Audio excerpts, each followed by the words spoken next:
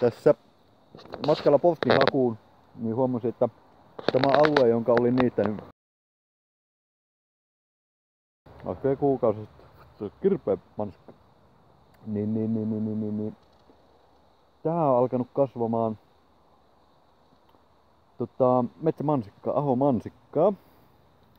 Eli, eli tämä suunnitelmani perinnebiotoopista taitaakin toimia. Tässä oli hirveä semmonen jotenkin koiran putkea ja horsmaa ja muuta vastaavaa, mutta nyt, nyt, kuten huomataan, ee, täällä aluskasvillisuus, aluskasvillisuuden seassa pilkistää ee, mansikaa. Niin tuli kaksikin laulua mieleen, jotka aion nyt laulaa tässä näitä poimiessa. Olin poiminut kedolta mansikan, joilla täyttelin pienoisen suun. Olin po- se, oli, se oli Tapanin kansan tuota, lapsuuteni sunnuntait.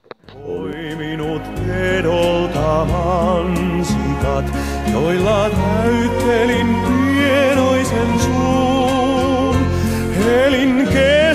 kesäisten päivien tuoksuista ja hetkistä heinäkuun.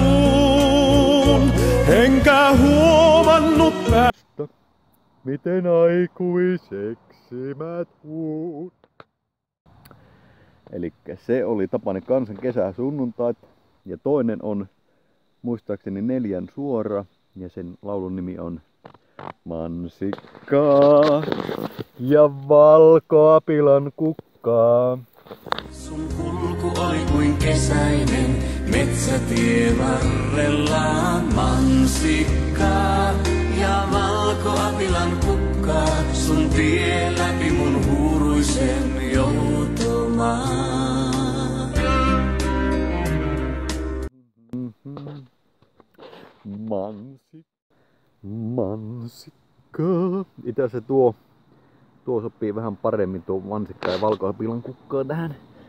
Se on vähän semmonen iloisempi kuin on nyt tämmönen oikein aurinkoinen päivä. Mutta ei se paha ole se Tapani kansankaan biisi.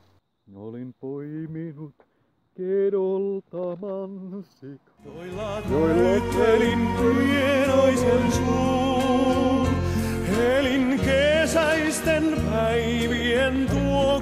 Tuoksuista ja hetkistä heinäkuun.